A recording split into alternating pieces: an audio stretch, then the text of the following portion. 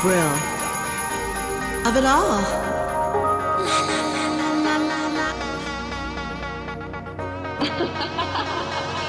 tell me, tell me, fairy god babe. Welcome to the Brill of It All with me, Dianne Brill. Now, as your fairy god babe, there are certain things that I know that I have to address. And number one, I thought, let's take on the kiss. Now, what does the kiss mean? Well, a kiss is something that's very often in a relationship or in the scheme of things gets forgotten pretty quickly because we're such a, a goal oriented society and we just want to get to the goal, get to the gold.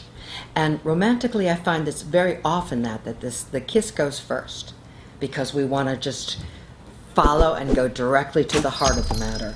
Now, in the early stages of kissing, I think the thing that really pulls people together, like when you watch a movie, and you know, they have the scene, I hope it's not just me who's like that, but I think most of us, we see the movie, there's a scene, and the couple, they can't get together, the lovers, they can't get together. And at one point, they get close enough to kiss, it's about to happen, the tension's building between them, the kiss almost happened, something happens. I mean, not an earthquake. It's usually something like someone comes through the door and boom, the kiss doesn't happen. And you know that feeling that you get, like, damn, like how are we going to get the? How are we going to get that satisfaction of that like kiss coming together? And sometimes you watch a movie and then boom, they're together and they get that kiss, and you feel a sense of like.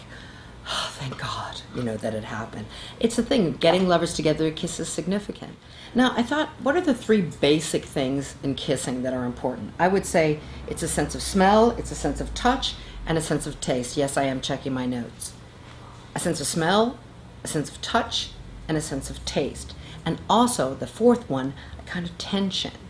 You know, like that tension that builds, you know, just like not being able to touch that person. Like, you know, as soon as that kiss happens, everything's going to change. So whatever it was before, it's going to be different as soon as that kiss comes into play. You know, it's like uh, one kiss and the whole thing changes into something else. So buddies become lovers with a kiss.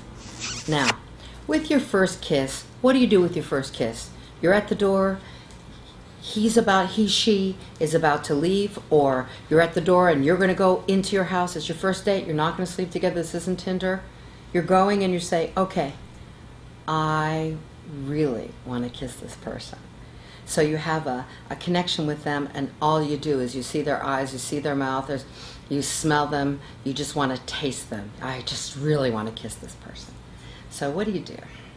Well, first of all, just don't lean in, jump into the kiss because you're at the doorway and this is a movie and you just kiss the person. No what you do is you need to let the tension kind of build between the two of you. Let the tension build. So by the time you get to the kiss, the kiss is like brilliant. No shyness. It's just brilliant.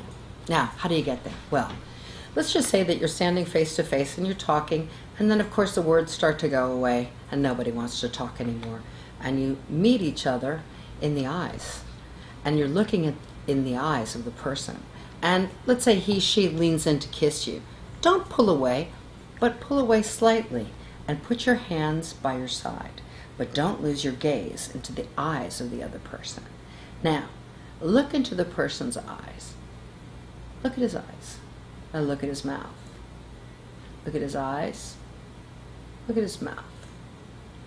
Look at his eyes and feel the energy that builds between the two of you just by not kissing him or kissing her yet. That energy, that kind of tension between the two of your bodies.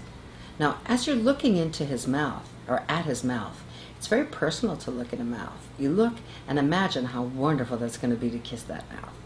Now, look in his eyes, look at his mouth, and when the energy gets too much and the tension is too intense between the two of you, that's when you move in and kiss him.